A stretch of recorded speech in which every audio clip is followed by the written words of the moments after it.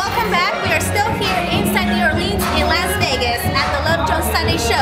I just came across Austin, so we're gonna see what Austin has going on. Austin, tell me, what, what do we have well, absolutely. I actually have a shirt that I'm selling.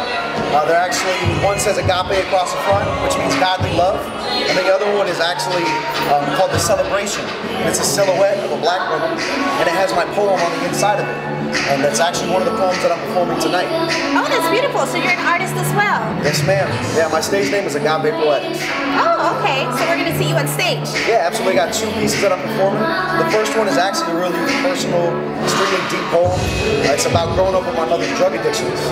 Um, and then the next one is called The Celebration. It's celebrating the beauty of black women because I personally don't think that our society does it enough.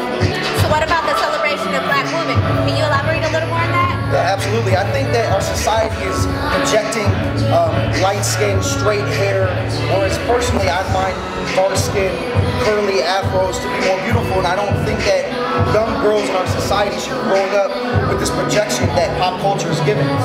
So I would like to espouse that energy to them. That way, little girls growing up know that they're beautiful naturally. That's a beautiful message. Well, I can't wait to see you on stage. Stay tuned for more of Blink Show TV Las Vegas edition.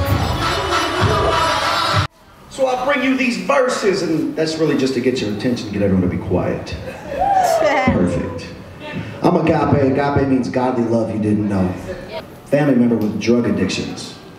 So if you feel it, you can go ooh or mm or snap. I like snaps. All right, so we can practice that. I'd say some really deep shit right now. I just said some deep ooh. I like it. I sometimes dreamed that thoughts of me were her drug and love was the needle.